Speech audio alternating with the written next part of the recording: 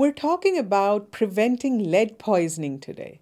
Hello and welcome to Science in 5. I'm Vismita Gupta Smith, and these are WHO's Conversations in Science. We are talking to Lesley Onyon today. Welcome, Lesley. Lesley, explain to us exactly how big a public health problem is lead poisoning and who are the people at risk. Thank you for the invitation, Vismita. Lead has a, a long and dark history, and the knowledge of the effects of lead go back as far as Roman and Greek times, so almost 5,000 years. Today, WHO estimates that uh, almost 1 million people die from the effects of lead exposure. We're all potentially at risk from exposure to lead, but there are three groups we're particularly concerned about, and these are children under five years of age, pregnant and lactating mothers, and adults who are occupationally exposed. The effects of, of lead can often go um, unrecognized because they can be insidious and fairly mild, such as um, anemia, constipation, abdominal cramps. However, it's the neurological effects that we're most concerned about, and these um, particularly affecting those affecting children.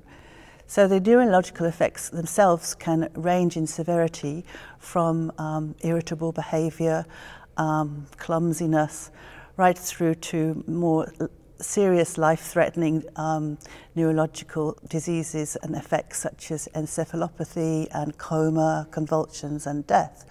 Adults are also affected, particularly cardiovascular diseases and renal diseases. These are affecting occupational groups in particular exposure to lead is often not serious in an acute um, incident, but uh, the repeated exposure at low levels can give rise to these severe neurological impacts that last a lifetime.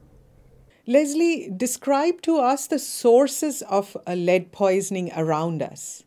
There are a large number of sources of potential lead exposure. We already have taken action on a number of these, for example, the outlawing of, of leaded petrol, um, the controls on use of, of leaded water pipes for drinking water and so on, but there are still many other sources. Leaded paints, the use of lead in, in, in decorative and household paints is a concern, but there are a variety of other sources too. We still can find lead in drinking water and food. Um, it's found in some traditional medicines and cosmetics and in other household sources, um, glazed pottery and so on. The mouthing of objects containing lead is a particular danger for children. Um, small objects such as fishing weights and curtain weights can easily be swallowed and then have a lasting effect once remaining in the body. But there's also the mouthing of amulets and toy jewelry and so on. A particular growing um, source of lead exposure is the, is, comes from the recycling of lead acid batteries. And these are a, a, growing need in our society for whether it be for electric vehicles, whether it be for small scale uninterrupted power supply. But the recycling of these uh, batteries is often done under very um, poor conditions um, often within homes as a sort of cottage industry in developing countries, and therefore whole communities and families can be affected. Lesley, WHO and partners are observing Lead Poisoning Prevention Week to raise awareness and call for action to prevent lead poisoning. Why is this important even in the midst of a pandemic? Well, in, a, in, the, in the pandemic, we often find uh, people spending more time at home than, you, than they had done before.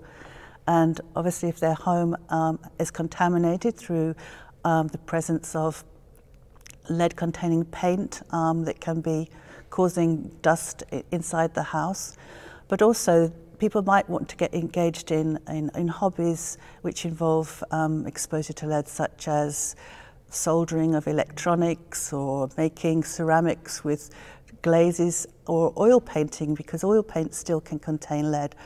So there, um, there is often a, an increased um, hazard if spending more time in these contaminated environments. What can people do to prevent lead poisoning? There are a number of things that people can do to prevent lead poisoning. I think in terms of the issue of lead paint, um, you could check to see uh, whether your house contains lead paint before embarking in any major renovation pro projects.